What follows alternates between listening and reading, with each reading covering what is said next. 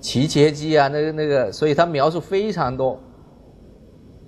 但是比较规范就是胸膜凹陷症或者胸膜牵拉症，就是这样。在 MR 上面，我们看这个左上肺的腺癌，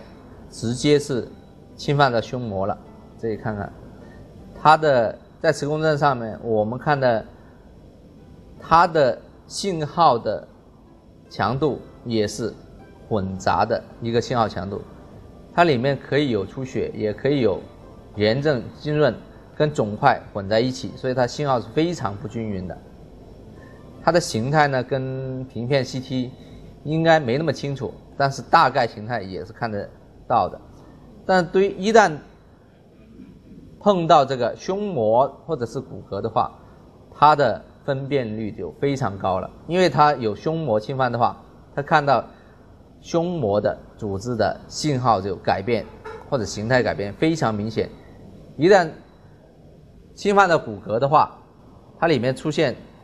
水分的改变，那也会出现里面的信号的改变。所以骨骼转移啊，或者是直接侵犯的话，它的发现比 CT 更加敏感。这个是侵犯到侧胸壁的肿块，这是横断面上面，在这上面也可以看到肿块的分叶、切迹。这个是肚脐的脐针，也是深切迹了，分叶针，其实它都是同一个意义。你看就是这样，这是胸膜牵拉，这是。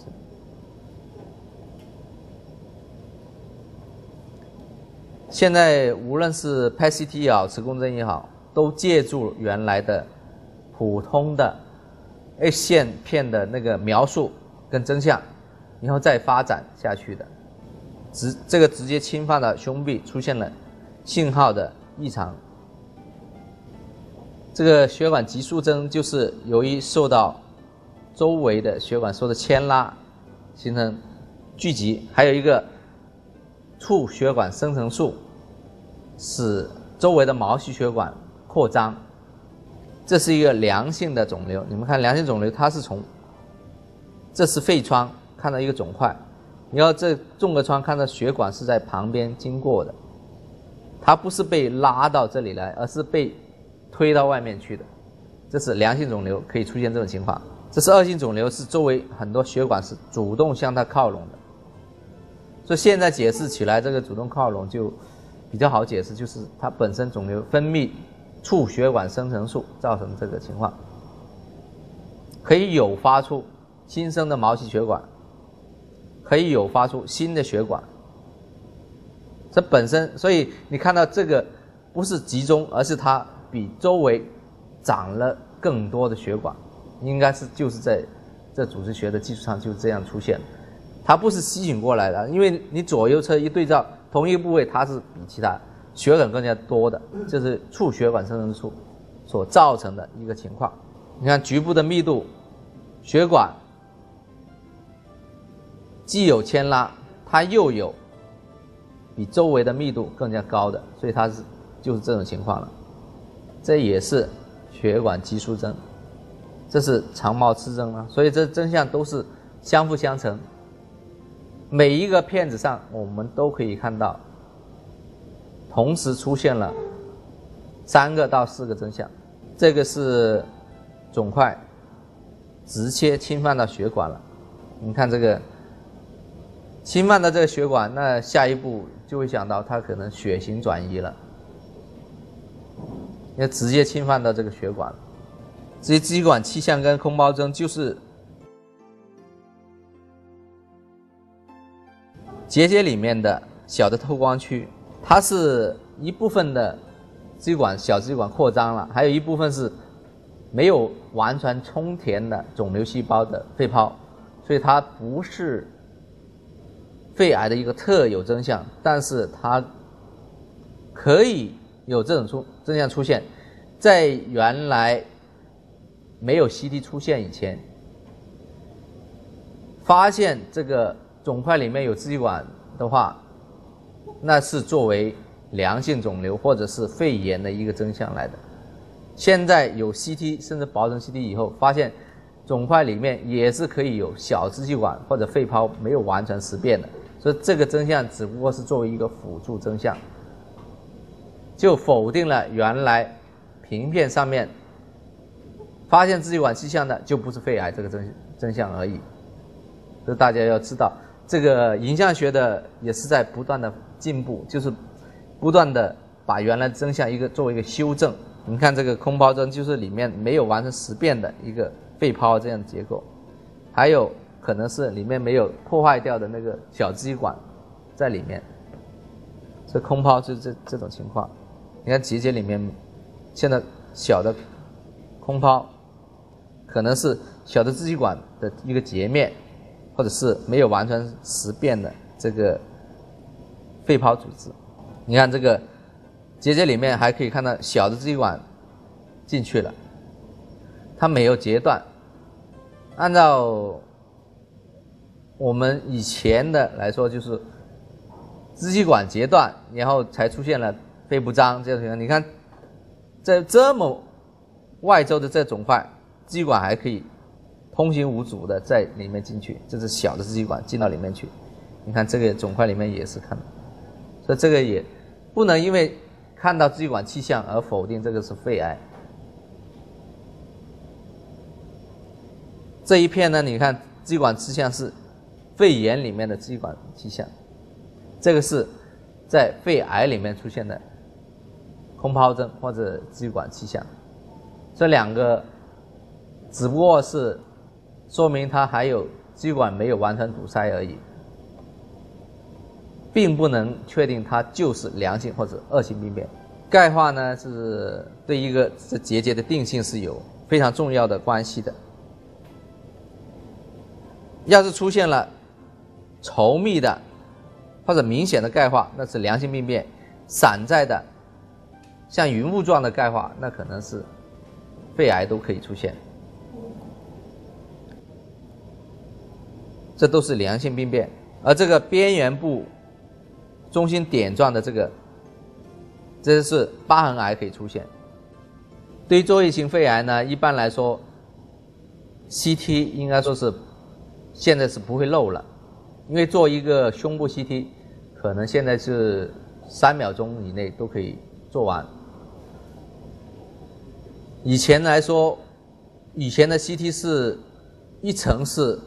十五秒到二十秒的，也就是说少十毫米的话要十要十几二十秒，然后一层一层的下来，少一个胸部可能就几分钟了。那你一口气不可能。憋几分钟吧，那特别是病人来说，但现在来说，你憋一口气五六秒钟，那是完全可以的，病人也可以做到。所以我们来说，一般来说检查都要病人稍微憋一下气，憋他几秒钟，那那你的影像就不会出现模糊啊这种情况了。有的情况是不能憋气的，就像病人潮式呼吸，就是急救的病人、抢救的病人，你去到床边坐的那些。那你确实呢，图像就出现模模糊糊啊。那你有的小肿块你也会漏掉。说实在的，这种情况就能够叫病人憋气的，那我们肯定是建议病人憋住气再来做这检查，避免了影像出现这个运动性的微影。磁共振对于这个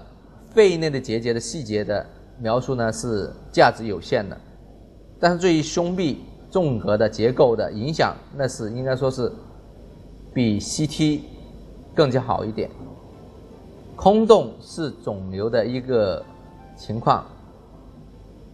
后壁空洞往往是肺癌中间坏死以后，坏死组织排空了，再形成一个后壁空洞。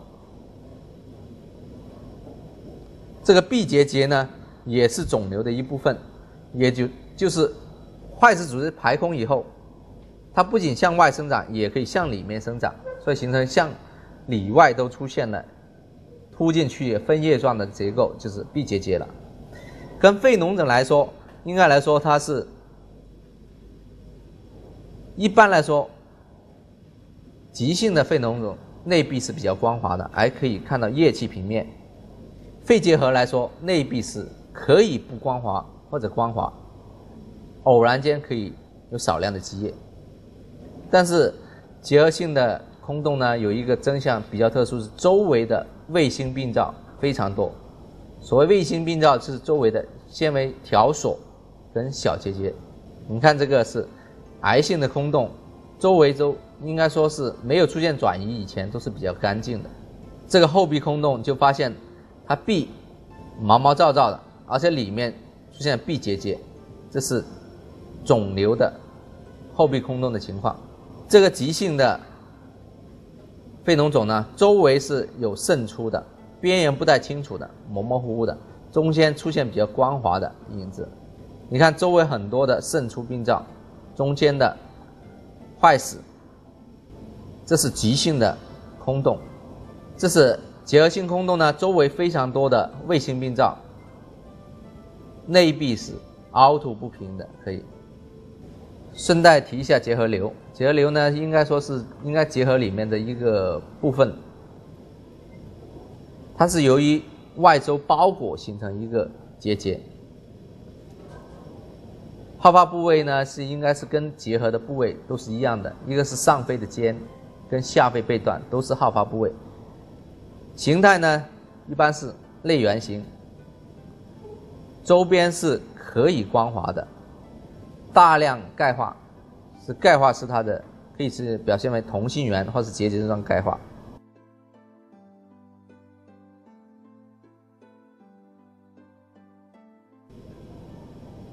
周围有比较多的斑点状、条索状的卫星病灶，你看这个周围很多条索状的。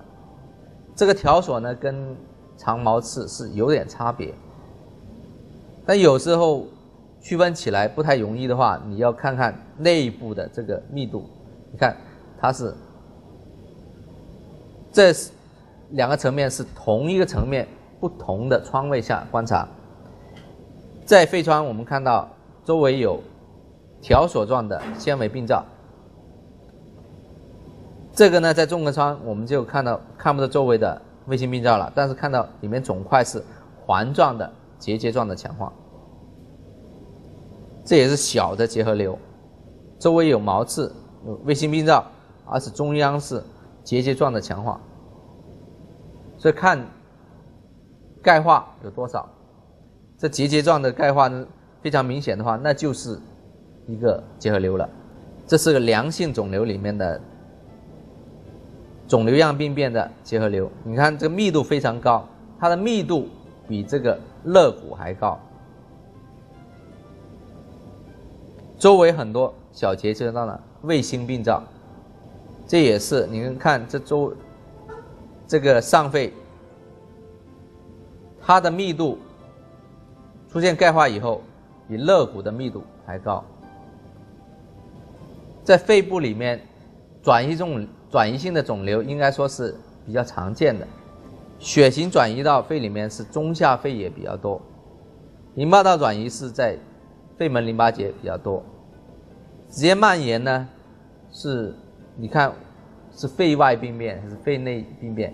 肺外病变直接蔓延就是哪个部位生长的肿瘤就直接在那里进进去了，这个是双肺的多发转移，你们看着。左右对照着一下，左有那么多，右有那么多，但是都不对称的。这结节你看大小不一，有的时候以前是把子宫来源的那肿瘤描述棉花团一样，类圆形的，现在看呢，你看很多是棉花球一样的，这是平面上以前描述的，边缘清楚，密度均匀，这是贲门癌，你们看这个很多发的。结节双肺多发结节类圆形，边缘清楚，这就是转移瘤的一个情况。不仅出现了肺内转移，而且你看胸膜也出现了有少量胸腔积液。这个呢是甲状腺的癌肿引起的肺转移。你看这个侧位的。颈部片看到，这个是气管的上段，在气管前面呢看到一个软组织肿块，密度比较高，压迫到这气管出现变形了。正常的话，这一段的气管上下形态是一样的，但看到这个情况就是局部出现弧形的压挤。这这甲状腺的肿块，三线肿块呢，肺内就出现转移了，这是一个，这里还有一个，右肺也可以看得到。你看双肺多发转移，这个转移就稍微难看一点了。你看跟肋骨重重叠在一起，这转移瘤有的时候是不好找的。你看这个小结节。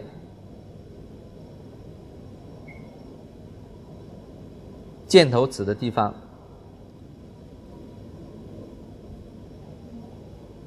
所以找这个转移瘤呢，你看，特别在箭头指的地方，你们再找找。还有一个症象是右膈膨生，因为是膈下病变肝癌造成的一个肺内转移，所以它既有膈下的病变引起膈膨生，又出现了肺内的转移。这是乳腺癌引起的，你看这肺内非常多的结节，看到这么多都是平面上面都是双肺多发转移，这转移都是球形的或者是圆形的，下肺中下肺也比上肺多一点点，在 CT 上面我们看就是大小不一，结节状的类圆形的，这一部分是淋巴道转移，你看是。淋巴转转移呢，看着像一条条的沿着淋巴管的出现，像串珠一样的小结节样的改变。肺叶里面还有竖粒状的这个转移，你看这个跟竖粒性肺结核有点类似。那大家知道这个竖粒性肺结核也上一节课也看过了。它呢就转移呢，这情况呢是越到中央越大，这个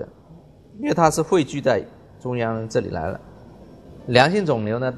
没要求，给大家是大概看一下，这个是主要的情况，它是生长比较缓慢，所以它周围的是比较光滑，因为它有包膜，大小不一的，位置不定的。它需要鉴别是单发的转移瘤。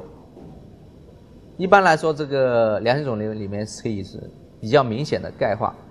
你看这个错构瘤里面的钙化，描述叫爆米花一样的钙化，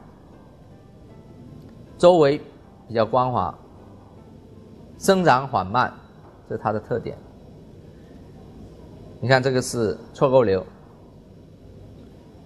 你在这里检查的话。今年是这样，过了两年检查还是这样，